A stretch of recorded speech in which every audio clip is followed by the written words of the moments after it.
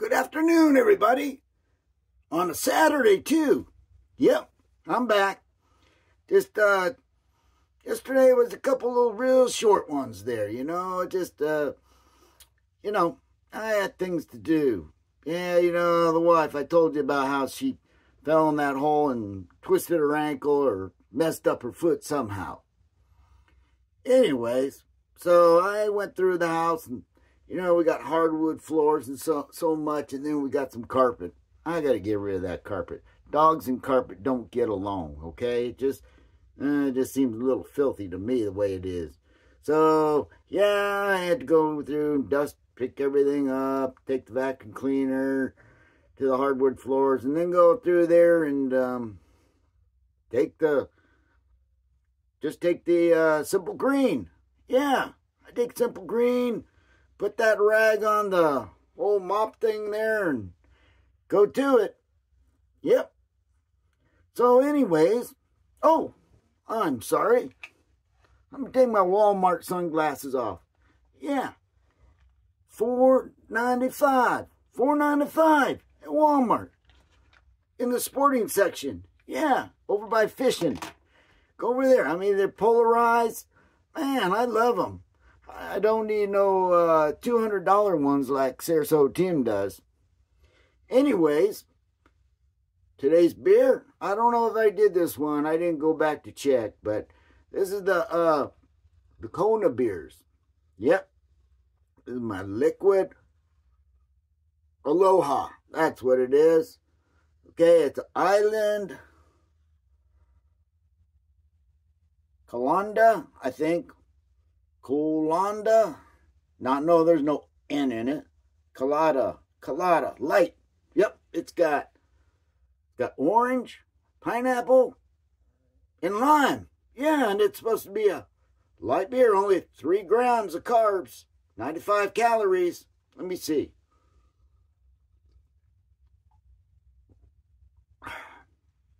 That's pretty good. Yeah. I think my voice is coming back now. Hang on. And I think there's only, let me see what to say, alcohol. 4%. Well, we could up it a little bit, don't you think? But for a light, it's pretty damn, it's pretty good, okay? It's damn good. So, put that one out. I was barbecuing that uh, tri-tip. Oh, man, that was good. I seared it up real good. Then put it on there watched it and it says, just stick that thermometer halfway in. When it gets to 125 or one, yeah, 125. Yeah, you know, I'd like my meat medium rare. Wife, she likes hers burnt. I don't know why. You're just going to ruin it that way. Anyways, it was good. So, what are we going to talk? Oh, yeah, I guess we do. We got to talk about Sarasota Tim, don't we? Well, you know, he, uh, let me tell you, he left. He left uh, Thursday from Bullhead City. Yeah, and I tell you what, I could not believe it. He could not get out of there fast enough. I mean, he was cruising through. He was just like putting the miles on. I don't think that camper could. Yeah, he's gonna have to check that camper when he gets back. He was going like 75 and more.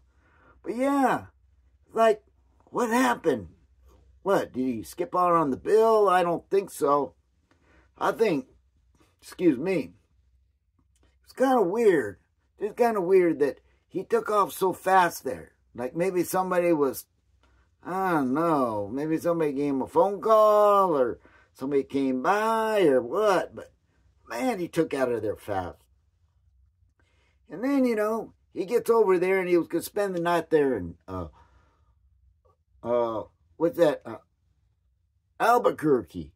And he said, man, that's a cesspool over there. Well, you know what? If you just come right off that I-10, no, that I-40 over there, yeah, you're going to run in. I mean, what do you expect when you get just right off the 40? You're going to have all the truck stops and all that. And, you know, some of that stuff is where people, maybe the undesirables don't hang out. I thought he'd be right at home there you know, with the lot lizards and everything. Thought maybe you know, chum him up or something like that. But no, he said he moved on just down the road to a rest stop. Now, when I went through there, yeah, there was a rest stop right out of town, but, you know, yeah. But anyways, then he got up early. Excuse me. And then he got up early again. And he just took off. I mean, he was flying through everything, flying through uh, Texas. It says, you know what? Now, this is on a Friday, okay? He says, you know, I'm not going to stay for no eclipse. Why should I do that? I'm not going to fight the crowds, and I'm not going to do this. What do you think there is? 300 million people going to come down there to Texas?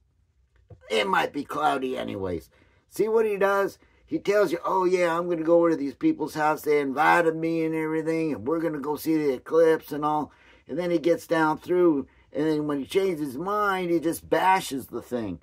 He's bashing in the eclipse now, okay? I got to get home. I want to get home. I got to get there. I got to get there. It's like, yeah, I got to go get my gun. You know, the cops took his gun. Well, they found it, okay? That's when he left his vehicle you know, unattended, kept the gun, you know, where you could look in the window and see it. So the guy broke in there and took it.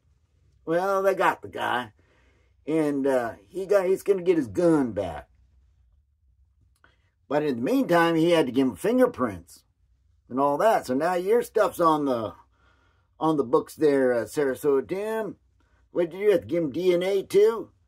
But anyways, yeah, I'm getting off the subject a little bit, but yeah, he wants to get back there and get that gun, but I think there's something else going on. Something behind the scenes he don't tell us, because you know what? He was rolling fast.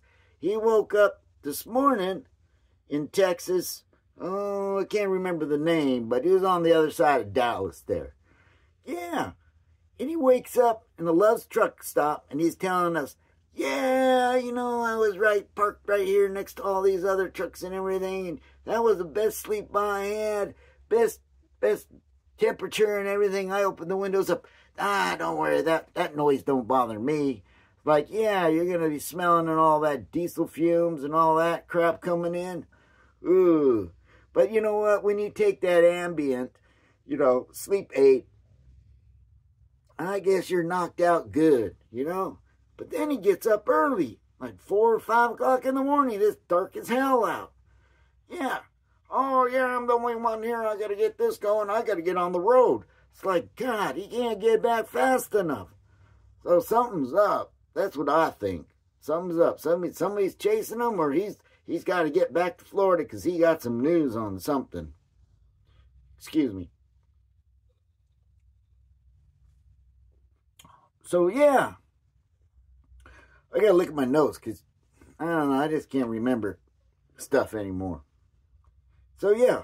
So, anyways, uh, oh, God, what I was to say. What the hell? Oh, so anyways, okay, so it's still dark outside. What's he doing? He's on the road. It's night. I mean, well, it's early morning, but it's dark as hell.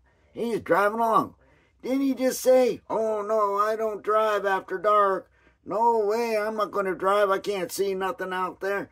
He's still booking it. That's why I said there's something going on because he told us in the past he don't he don't drive at night.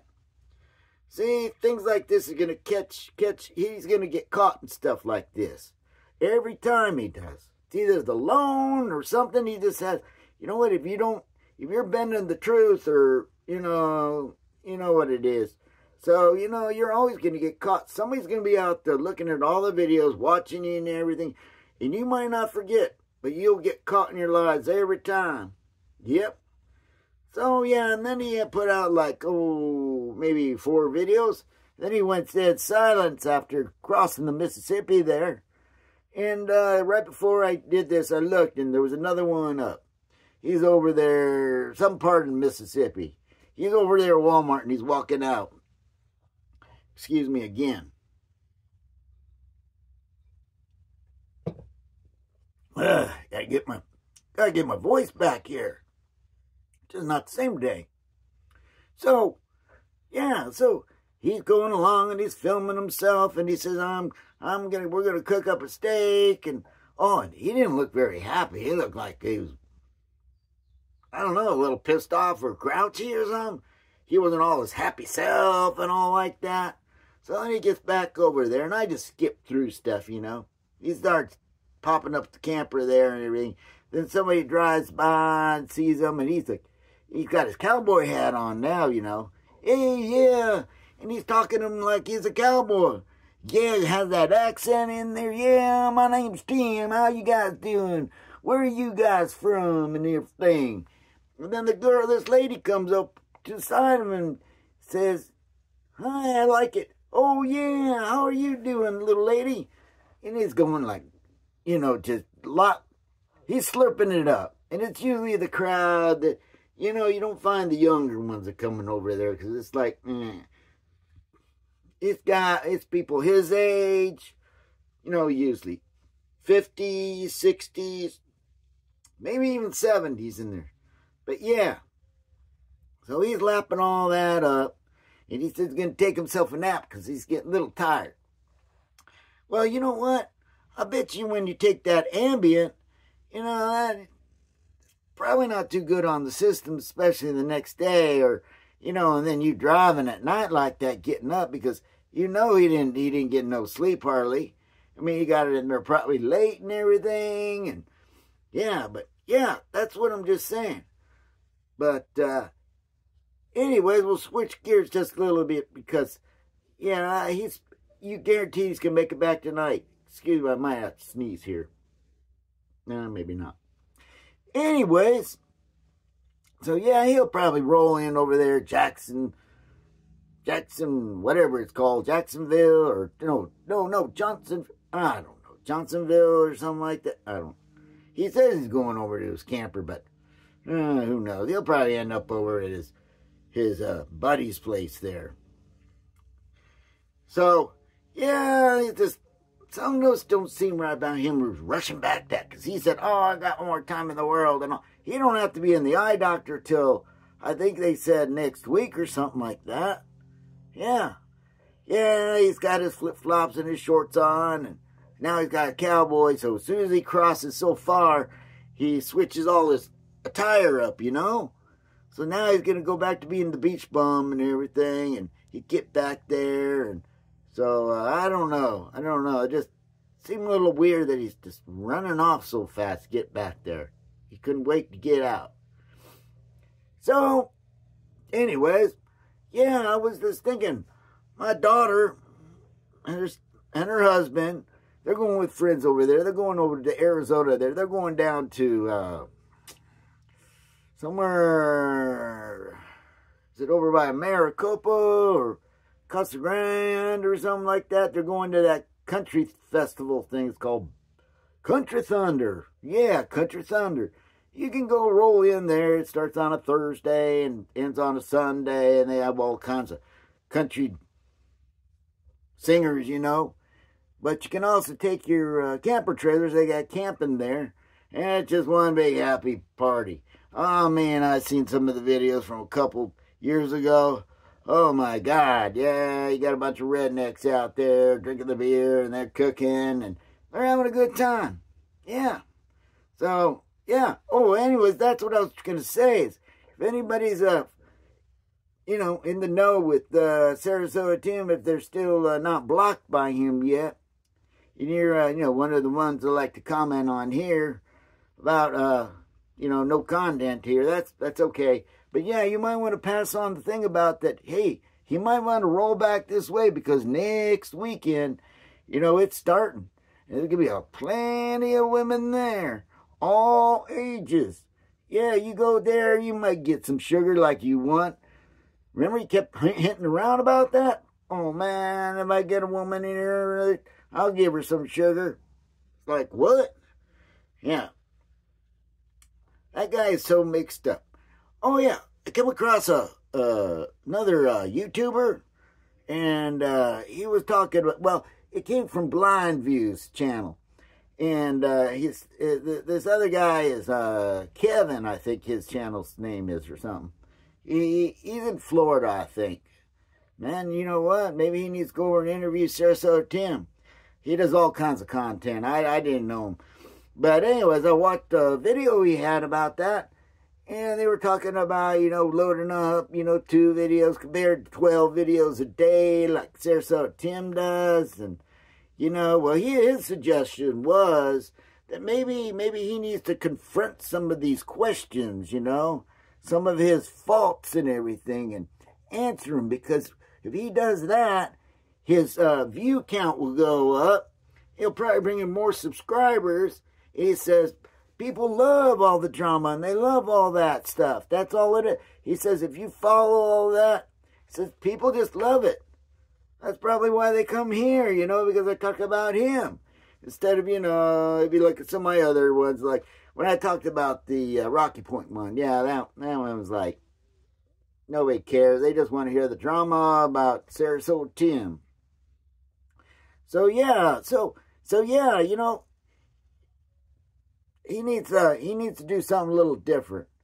But you know what they said. They he said too, you know, I guess his wife said something about, well, when you're a narcissist, you you, you just don't listen to anybody. It's all about you. Well, that's true. And they don't have no faults. They will not admit their faults. They will not admit that maybe they were wrong about this or that. And you know, it's just uh yeah. So yeah, it's just like, yeah, but he could learn something there. I mean, I learned some stuff when I was listening to him. Yeah, they said, you want to, you need to find those, uh, those people that are out there for this and that. You need to switch up your content a lot. Yeah. So, I don't know. So, yeah, there's not much. I don't have much to say. You can see I'm just rambling on. But, uh, yeah, I got a package from uh, E-Trailer. I had to get a bigger wheel, you know, for the camper trailer to put on back for the spare. And I got a new spare tire holder, and I got to put that on there. Getting it all ready to go out camping. Excuse me. Hmm. Well, let me look at my note again. I think we covered almost everything. I was going to bring up one more thing. Anyways, we lost another YouTuber, okay? At least, uh, I like I said, I don't know what you, all of you listen to out there, but I like a little variation of things. You know, I told you about last week about how um, Crazy Neighbor passed away from a terminal illness. He was from Canada, and uh, we got word yesterday, and he had been missing, and they were going to have a search party today, but uh, people were going to get out there in Tennessee. But uh, Hobo Shoestring, yeah, wife and I really like him. He he's really good. He he'd ride the rails and everything, and he talked about the past, how he did it, and all. And he had an apartment over there in Tennessee, and and uh, he'd still go on out, but he'd tell you about how this works, that works, and you know, he's kind of like a like if you walked along with him, you know. He teaches some stuff, and he just ride the rails. Yeah. Uh, sadly, they found him. They found him passed away in the lake. So, yeah. Anyways, uh, yeah, that's gonna be sad. He had over two hundred thousand subscribers around the world, and he was loved by uh, you know even kids. They'd watch it with their dad and all. So, anyways, it's a sad note leave you on, but uh, yeah. So, we'll talk to you later sometime. We'll see what happens, okay? We'll see you later. Bye.